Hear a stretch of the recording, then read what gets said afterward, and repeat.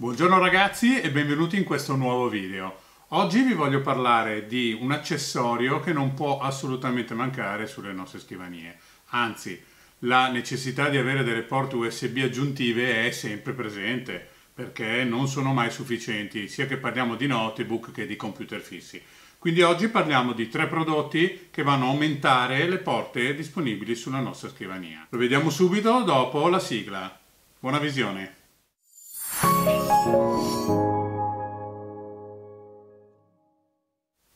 Vi presento velocemente i tre prodotti. In seguito andrò a effettuare dei test su uh, un portatile con una pendrive e vedremo i test di velocità in lettura e scrittura di tutti e tre i prodotti. Cominciamo dal primo. Eh, si tratta di un prodotto di Orico, è un hub a sette porte alimentato è presente un alimentatore nella confezione da 12 volt 2,5 A e il suo cavo dati che è proprietario.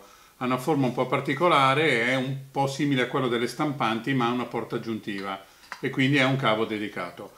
Si presenta di fattura ottima, completamente in alluminio, sette porti presenti nella parte superiore, la presa alimentatore, l'attacco cavi e il tasto per l'accensione.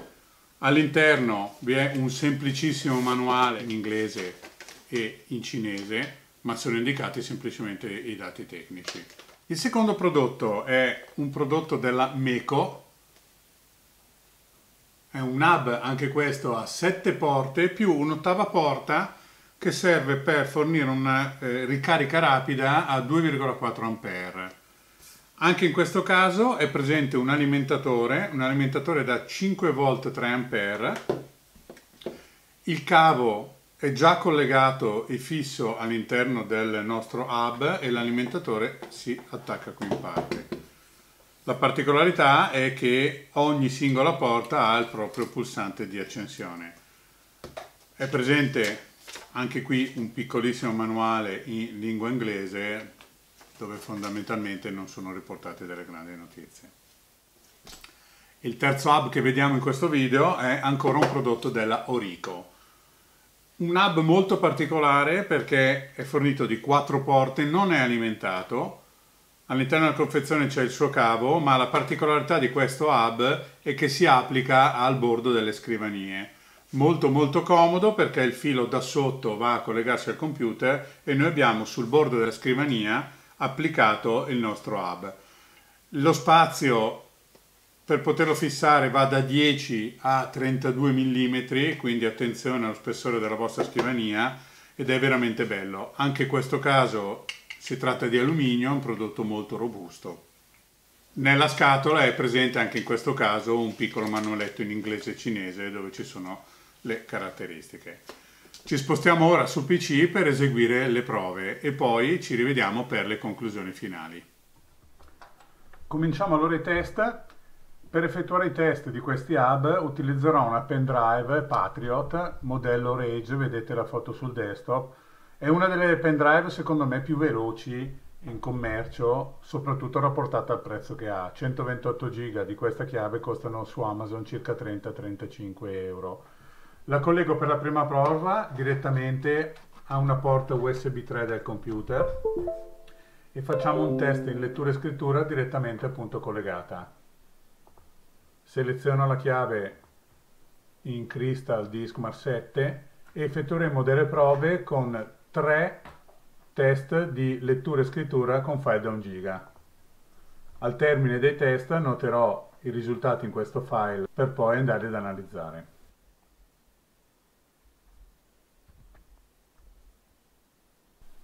Bene, terminato il primo test, tolgo la chiave e ora andrò a collegare il primo degli hub, che è l'Orico 7 porte. Ok, lo alimentiamo e colleghiamo il cavo al PC. Va acceso, collego in una, qualunque delle porte la chiave chiave è stata riconosciuta e lancio il test.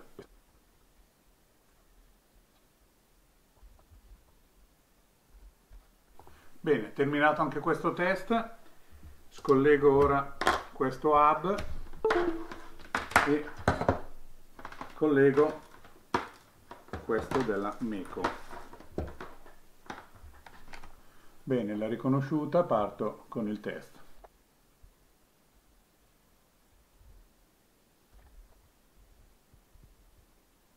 Valori molto strani, molto bassi soprattutto in lettura, ma particolarmente alto in scrittura. Per questo motivo eh, scollego la pendrive e la vado a collegare a un'altra porta.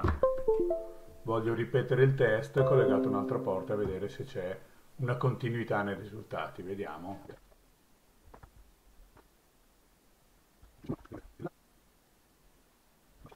Già più allineato con gli altri valori.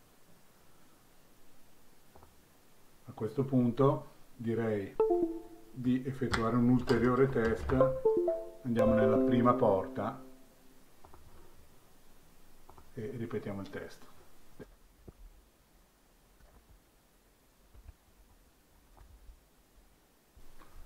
Ok abbiamo terminato anche questo test scollego la chiave e andiamo a collegare l'ultimo hub. Eccolo qua questo non è autoalimentato. Lo colleghiamo a una delle porte. E avviamo il test. Adesso stiamo provando questo hub. Va bene abbiamo il test.